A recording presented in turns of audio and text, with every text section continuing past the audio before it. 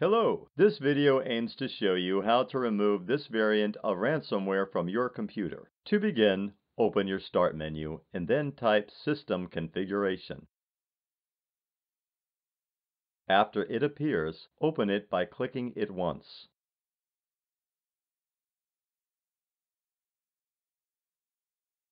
Now, go to the Boot tab. Select the option Safe Boot with network preference beneath it.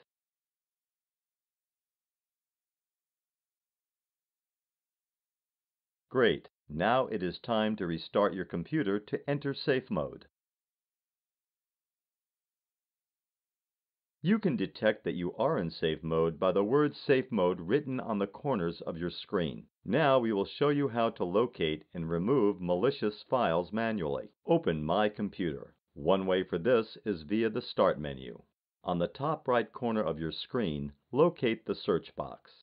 In it, type file extension, double dot, and the extension you are looking for, after which type space and the name of the malicious file. Usually, there is research about the file names and types on our website. However, keep in mind that they are often very random. If you have successfully found the file, like the example above, you can open its location by right-clicking on the file and then clicking Open File Location.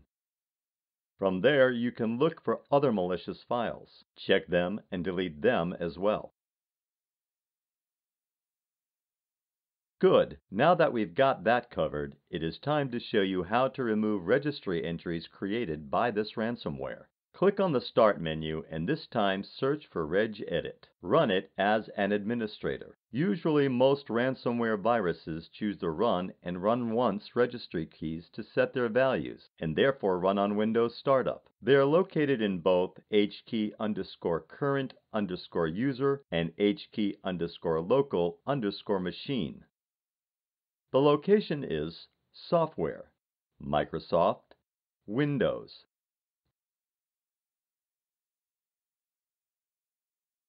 Current version, run and run once keys.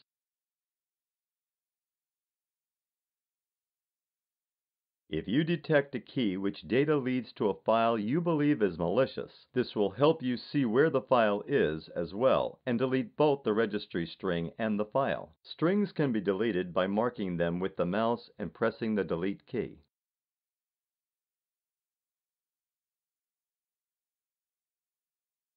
Keep in mind that manual removal is not always the most effective removal process. If you want to make sure the removal of this virus is permanent and full, you will need the power of a particular type of anti-malware program. One example can be this tool, which scans thoroughly your PC to remove every file and object associated with this ransomware automatically. The tool is regularly updated to protect PCs, and more information about it is available below. And that's about it. Now you know how to effectively remove this ransomware virus from your computer. If you have any questions, do not hesitate to leave us a comment. If you want more content, do not forget to like and subscribe.